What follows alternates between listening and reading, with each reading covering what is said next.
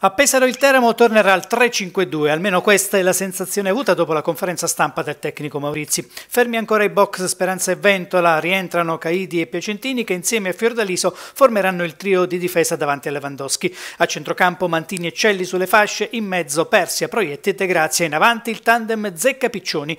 La Vispesaro, allenata da Colucci, è terza in classifica con 26 punti e la seconda difesa del girone con 11 reti subite, anche se mancherà per squalifica Gennari una pedina importante. In squadra c'è l'ex biancorosso Olcese a segno finora già cinque volte. Impegno che dunque rimane molto difficile. Telegrafico, il tecnico Maurizi più ci avviciniamo alla partita e più eh, siamo consapevoli che andiamo a giocare contro una squadra molto aggressiva e che abbiamo esigenza di fare, di fare punti e quindi anche noi dovremmo esserlo per, per portare via punti da, da questo campo.